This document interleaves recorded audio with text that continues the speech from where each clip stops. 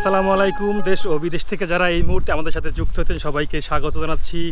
আমি সোহাগ হাফিজ। দর্শক, আমি এই মুহূর্তে রয়েছি একটি সূর্যমুখী বাগানে, যেখানে হাজার হাজার একর জমিতে সূর্যমুখী চাষ হয়েছে। আপনারা দেখতে পাচ্ছেন আমার পিছনে প্রচুর পরিমাণে সূর্যমুখী ফুল ফুটেছে। আমি যে জায়গাটিতে রয়েছি, এটা হচ্ছে কলাপাড়ায়। গ্রাম জুড়ে প্রচুর পরিমাণে সূর্যমুখী চাষ করেছে।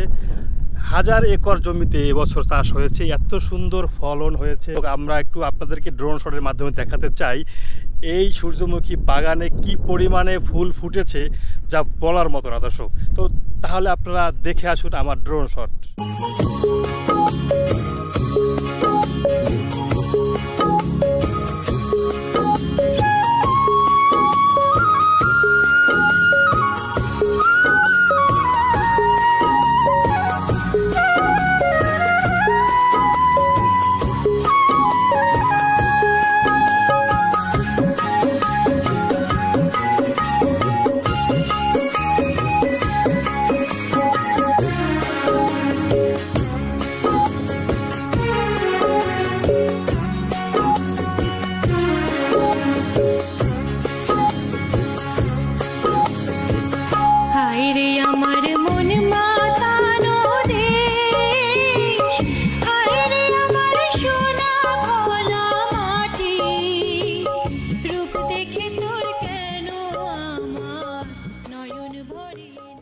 সূর্যমুখী ফুলের সাথে ছবি তুলতে কার না ভালো লাগে?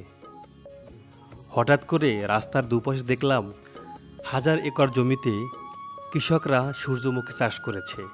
আমি এই মুহূর্তে রয়েছি পটুয়াখালী জেলার কলাপাড়া উপজেলার হাজিপুর গ্রামে। রাস্তার দুপাশে হাজার একর জমিতে কৃষকরা চাষ করেছে এরকম সূর্যমুখী। দর্শক, আপনাদেরকে আমরা ঘুরে ঘুরে এই সূর্যমুখী ফুলের বাগানটা আপনাদেরকে দেখাতে চাই। কি সুন্দর ফুটেছে এবং আবহাওয়াটা একটু খারাপ থাকলেও কিন্তু এখানে আসার পরে মনটা অনেক ভালো হয়ে গেছে। কারণ হচ্ছে সূর্যমুখী ফুলের ভিতরে ছবি তুলতে, ভিডিও করতে কার না ভালো লাগে? আপনি যদি ঈদ মুহূর্তে এখানে আসেন, অবশ্যই রাস্তার পাশে দেখতে পারবেন হাজার একর জমিতে এরকম কৃষকরা সূর্যমুখী চাষ করে রেখেছে। এই সূর্যমুখী চাষ আমাদের দক্ষিণ অঞ্চলে কিন্তু এর আগে দেখা যেত না। হঠাৎ করে কৃষকরা কিন্তু সূর্যমুখীর উপরে অনেক ঝুঁকে পড়েছে।